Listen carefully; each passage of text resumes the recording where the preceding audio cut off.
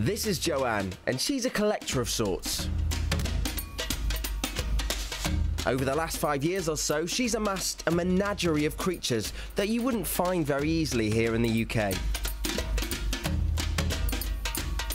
And over the next few weeks, I'm being allowed through the gates and into Joanne's weird world of wonderful animals.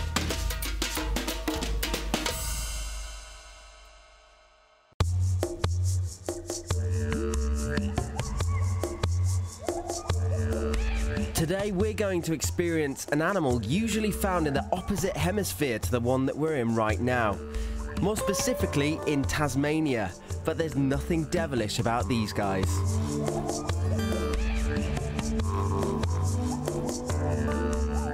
The red-necked wallaby is closely related to the kangaroo, but they're much shorter at around half the size. With mostly brown or grey fur with a distinctive patch on their upper back, the red-necked wallabies first arrived in the UK in zoos and private collections.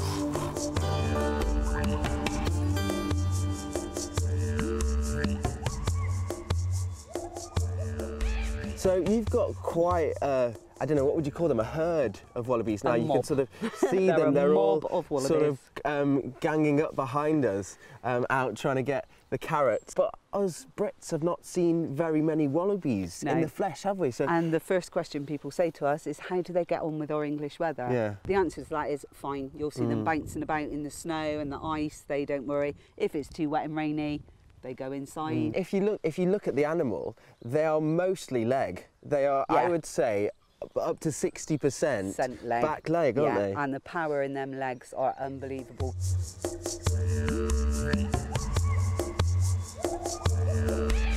Aside from powerful hind legs and tail, another distinctive characteristic of a wallaby is how it carries its young.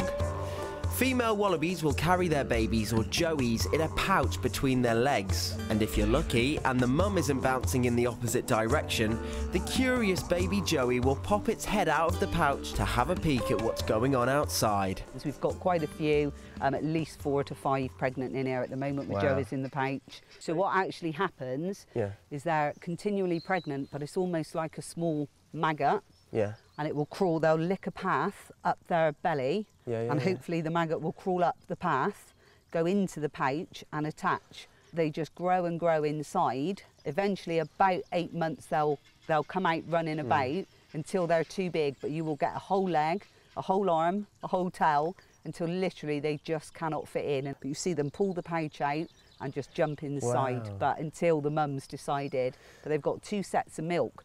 So one for the joey inside Yeah. And one outside for the larger joey. But they will base it on the weather. The weather's not right, it's too cold, it's windy, it's raining. They'll hold back. Mm.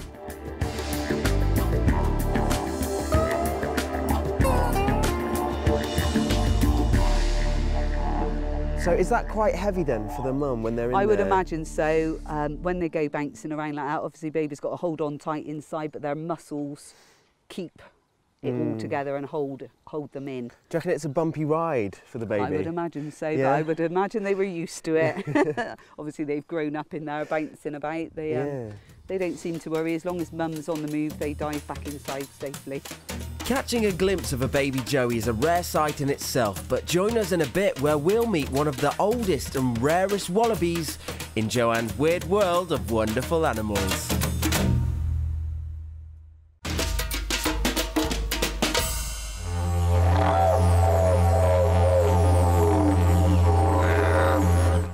On, we enter Joanne's weird world of wonderful animals to meet her wallabies. That's incredible. Look, you can see his little head there.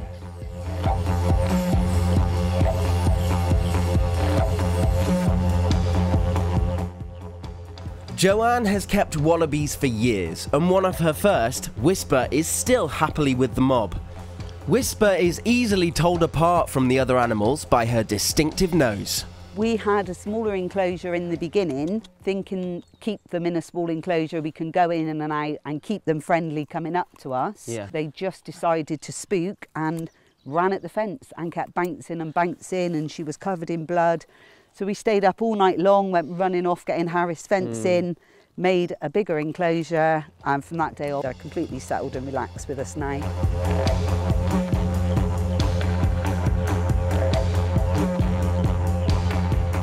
These are your pets, Yeah, essentially.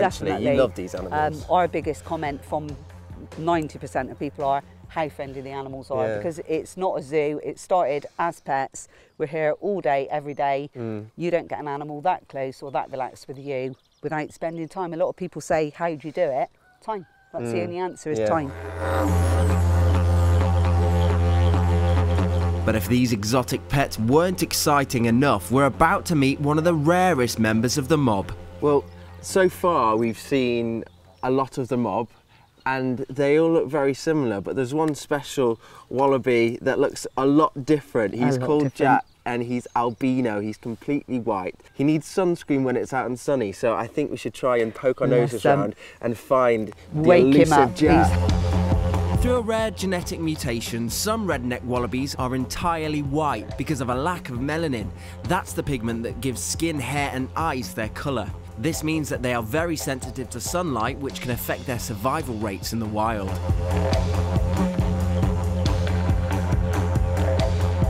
Obviously, with Jack being albino, he, he has a bit of special care, does he? Um, only his suntan cream and attention, basically, because that's Jack loves nothing more but cuddle and a bit of attention.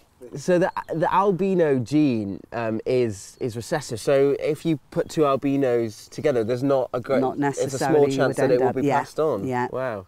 So, have you ever encountered uh, another albino wallaby? We've had one. We had one female from a brown mum. Oh, really? Yeah, um, that was about three years ago. We she went to live somewhere else. We sold her on. Mm-hmm. Um, but yeah, out of six years, we've only ever had one albino. Mm.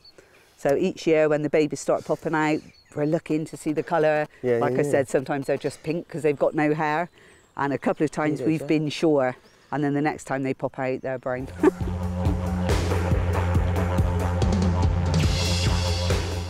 Jack is one of Joanne's very first wallabies, and his distinctive appearance makes him stand out from the crowd, which means he's the subject of many selfies. Jack, our albino, is obviously the man. Yes. And um, yeah, this is his little group of women. There he is. uh, Look, he does just look like he's looking over his land, quite yeah, he's proud uh, of quite all the work that he's superior and he checks yeah. everybody and who should be here and who shouldn't. Yeah, We do get um, a lot of ducks that come in and try and pinch the food and he They seems sort to 'em lay out? off. Yeah, Although they are very British wallabies, it is a taste of what goes on down under right here in the UK, isn't it? definitely. Next time, we'll get up close and personal with a strange rabbit like creature usually found in South America.